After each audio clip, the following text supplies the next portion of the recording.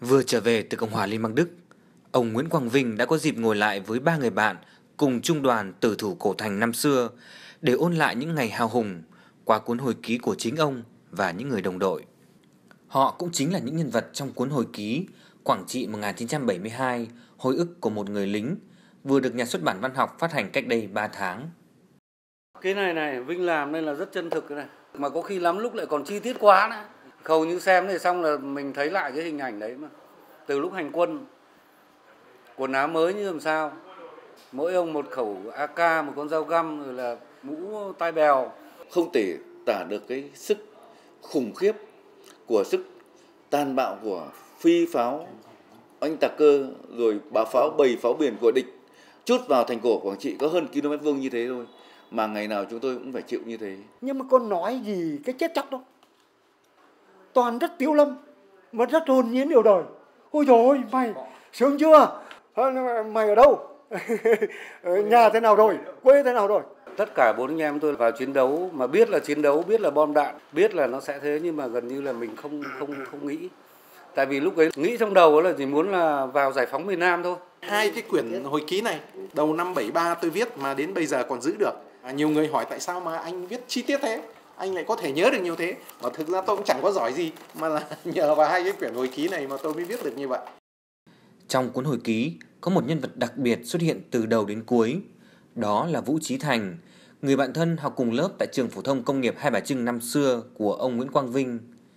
Hai người cùng đi ra mặt trận Quảng Trị chiến đấu, nhưng chỉ có một người trở về. Ngày xưa thì khi chúng tôi đi thì đối với các bà mẹ là chúng tôi vẫn còn trẻ con.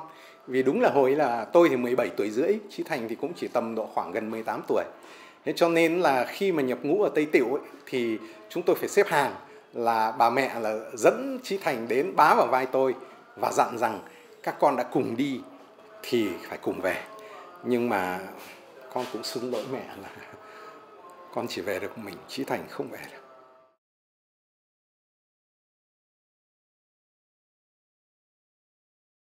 Ôi những chàng trai trẻ của khu Hai Bà và Hoàn Kiếm Hà Nội.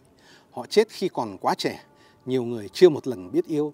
Tiếng gọi cuối cùng trên môi là tiếng gọi mẹ ơi, trước khi chìm vào bóng đêm vĩnh cửu nhưng chẳng người mẹ nào có thể cứu được con mình trong cơn bão lửa trên dòng sông Thạch Hãn ấy. Có thể qua thần giao cách hầm, họ khẽ giật mình. Có biết đâu trong giờ phút đó, máu của những đứa con của họ đã thấm đỏ một khúc sông rồi.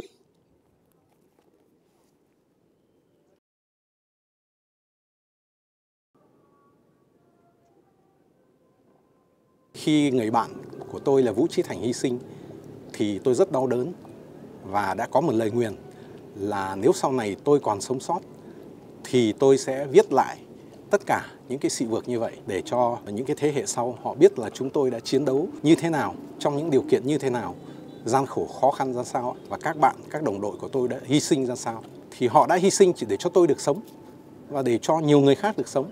Vì vậy, đấy là một cái món nợ tâm linh của tôi. Dù không phải là một nhà văn, nhưng những trang viết xúc động của ông đã thêm một lần nữa gây dấu ấn đặc biệt trong lòng bạn đọc về những người con anh hùng của đất nước.